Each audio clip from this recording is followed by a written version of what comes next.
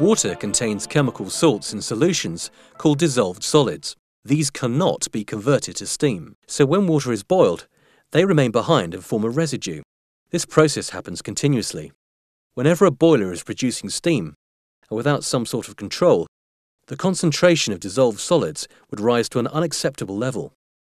The consequences of which can be seen in the following demonstration. Here, the TDS control system was disabled, and the TDS level has been allowed to rise to almost double its normal operational level. Boiler pressure is a fairly normal 8 bar at this point, with a moderate steady load. At first sight, things don't look too bad.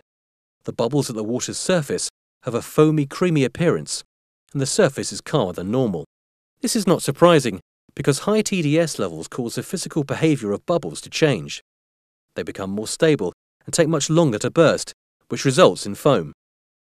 What's not so apparent is that the actual boiling water level, as measured by a level probe, is not where you would expect it to be. It is in fact much lower, because the layer of foaming bubbles is substantially thicker than with normal TDS. This reduces the effective steam room within the boiler and leaves it vulnerable to carryover even when the underlying water level is within normal operating limits. This is particularly so when the water rises to a high level, such as the top of the feed pump cycle, or in response to an increase in demand. Fortunately, these problems can be easily avoided by using appropriate means of TDS control.